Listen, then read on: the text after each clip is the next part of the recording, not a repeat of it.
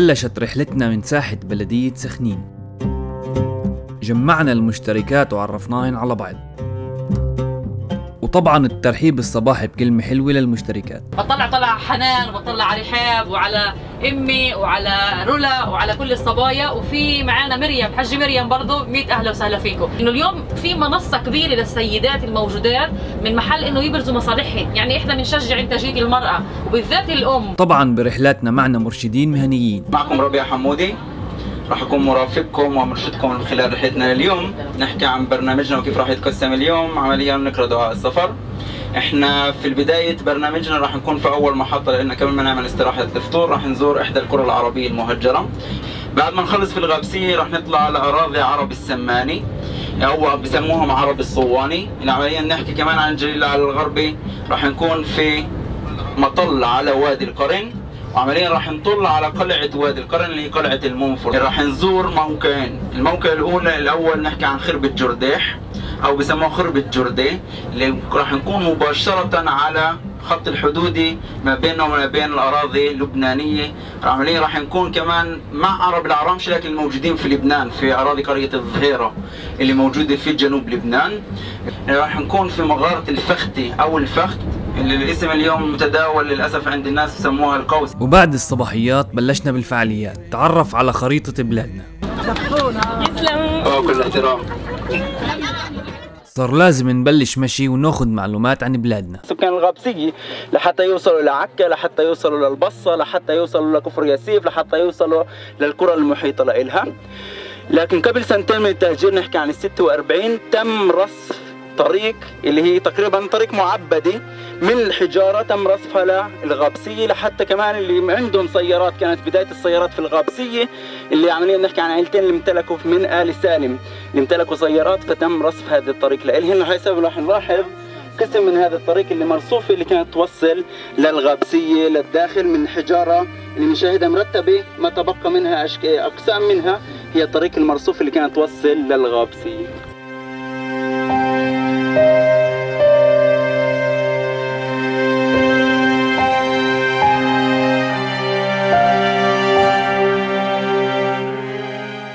وبعد تهجيرها من كل أراضيها ما ضلش غير مسجدها.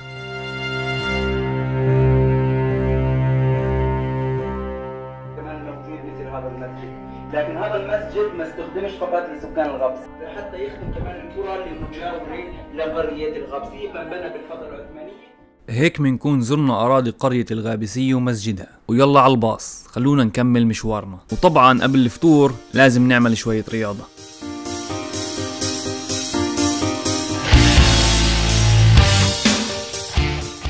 ومندلع مشتركاتنا بفطور مميز.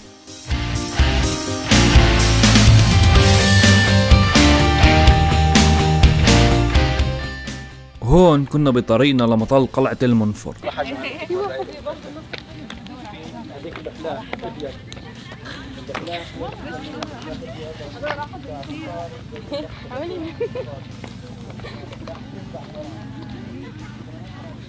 أحلى أجواء رحلتي.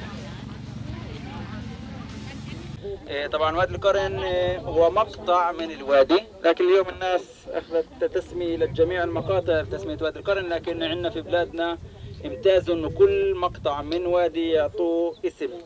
فعنا أول وادي أو أول مقطع من الوادي عم نحكي عن وادي طوله 40 كيلومتر ببلش عنا من جبل الجرمق اللي هي على قمة في البلاد عندنا في الجليل على المركزي راح نشاهدها لما نكون في مغارة الفختي وبكمل في انحداره لاتجاه الغرب تيصب في البحر الأبيض المتوسط عند قرية الزيب اللي هي من القرى العربية المهجرة اليوم عليها مستوطنه اخ زيب عمليا.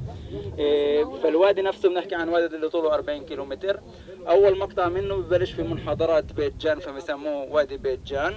بكمل في المنحدر في جبل الجرمق تيوصل لقرية حرفيش، عند حرفيش يسمى في وادي حبيس، ليش حبيس؟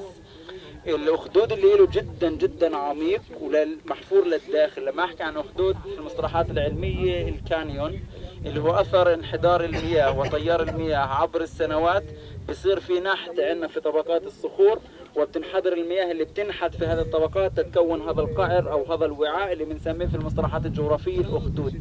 فاخدوده جدا ضيق وجدا عميق عند منطقة حرفيش يسمى في وادي حبيس. لما بيطلع من منطقة حرفيش بكمل لاتجاه الغرب في هذا المقطع بنسميه وادي القرن. ليش بسموه وادي القرن؟ نسبة للقلعة أو للمنحدر اللي مقابل لإلنا وشبه القرن عمليا بارز على الطرف الجنوبي من آه، ضفاف الوادي اللي هو وادي القرن.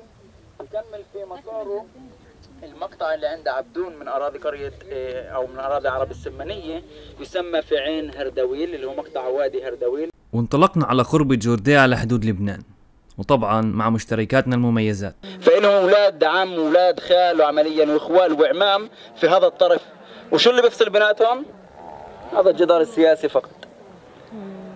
فتم ترحيلهم وتجميعهم في قرية اللي عرفت في قرية العرامشة. عرب العرامشة هي القرية هي تجميع لأربع خرب. النواجير عمليا بنحكي عن جرديح بنحكي عن أربين وبنحكي عن إدمث. تم تجميعهم في قرية وتم الاعتراف كقرية عربية ومع مجلس محلي اللي موجود فيها في عام 1982 اللي هي معروف اليوم العرامشي. واحد اثنين ثلاثة. ومن بعد ما كنا على الحدود اللبنانية صار لازم نزور مغارة الفخد عملنا فيها مسار خفيف لطيف واستمتعنا مع مرشد رحلتنا ربيع.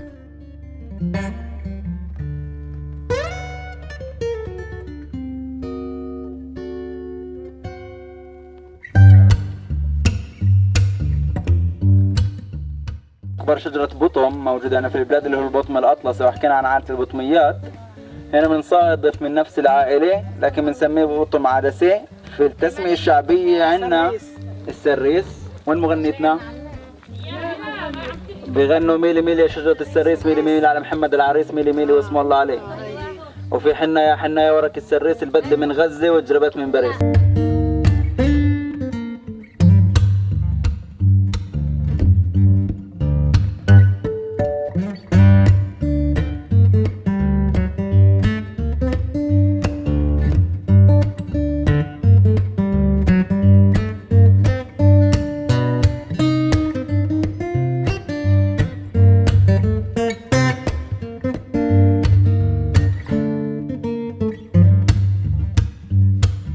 حدا بيعرف شو الفرق بين مرج لبين سهل؟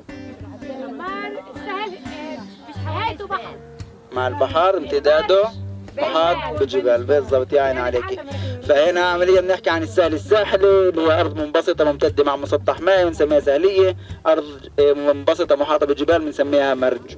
نيجي نطلع بالأفق وين الضباب وعمليا الرؤية مش كثير واضحة لكن أنا شايف جامعة حيفا. دققوا النظر جامعه حيفا شايفينها هيك زي البناية مرتفعة. بالضبط. هذه سلسلة جبال الكرمل. وبنشاهد رأس الكرمل لما حكيت لكم رأس وانت أنا بحكي عن قمة جبلية رأس هو التقاء البحر مع الجبل. فعمليا بنشاهد رأس الكرمل وهنا عندنا رأس الناقورة. هذا السهل ما بين رأس الكرمل. لرأس الناقورة بنسميه سهل الساح سهل عكا اللي جزء من السهل الساحلي الشمالي على طول 40 كيلومتر. العرض اللي له يتراوح بين 5 لعند 10 كيلومتر اللي هو عمليا بنحكي عن سهل عكا.